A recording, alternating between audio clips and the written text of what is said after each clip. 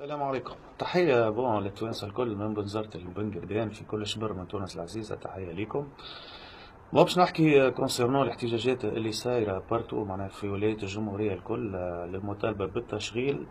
سوا من الناس البطالة العاديين ولا اللي حاملين شهائد عليا هي احتجاجات بدات سلمية على الأول mais بعد تطورت وانتقلت معناها لعمليات تخريب ونهب وسرقة وحرق واقتحام المؤسسات الدولة ومؤسسات خاصة وليسيات واتسيتيرا وولايات ومعتمديات.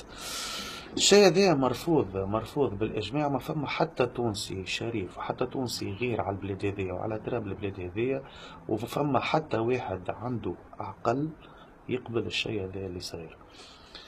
الحكاية اللي صايرة في تونس bon متفهمه هي ومتوقعة في أنه بعد الثورة. خمسة سنين والسياسات اللي تعاقبت والحكومات اللي تعاقبت ما ريناش حتى إرادة حتى volonté من حتى حكومة ومن حتى وزير تشغيل للإحاطة بالمطلب هذا المطلب هذا اللي هو العيش الكريم والماكلة والخبز معناها والتشغيل اللي هو من أول مطالب اللي صارت على خاطرها الثورة التونسية واللي خرج الشعب للشارع وقال لبن علي dégage على خاطرها.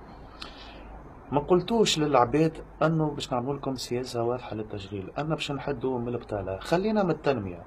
خلينا من التنمية والحكايات هذيك والمشاريع الثقافية et cetera والبنية التحتية اللي تصير في الولايات نتاع تونس الداخلية. mais الشباب surtout في تونس لازمكم تفهموا. يا ناس يلي شادين الكراسي راهو يعاني يعاني معاناة غير عادية. الشاب يعدي عمره في تونس يقرأ والديه يحلموا. وتكبر الحلم هذيك بشوية بشوية. قول ولدي باش ياخذ شهادة ويستنى فيه باش يخدم يستنى فيه باش يتوظف. هذيك كرامة هذاك حقه. هذاك من حقه ما هواش من واجب الدولة. تونس خمس سنين بعد الثورة السياسيين عملوها مخبر للتجارب كما قال لطفي العماري في قناة الحوار التونسي.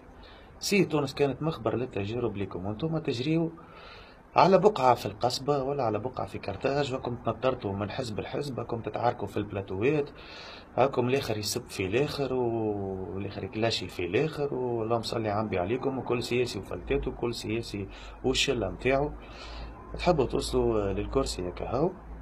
هذا هو هدفكم وتحية لكم surtout للوعود الحلوة والخشينة ياسر 5000 موطن شغل و6000 موطن شغل.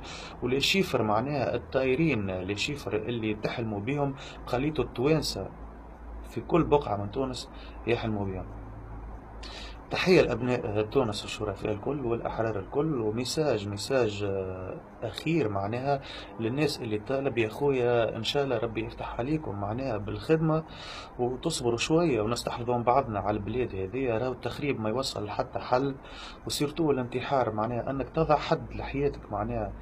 صحيح هو واحد يوصل لدرجة من اليأس يوصل لنقطة اللا عودة في اليأس.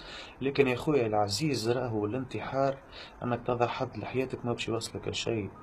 إن شاء الله ربي يقدر الخير وربي آه، يحسن الأوقات معناها ويبدل الأوقات بخير.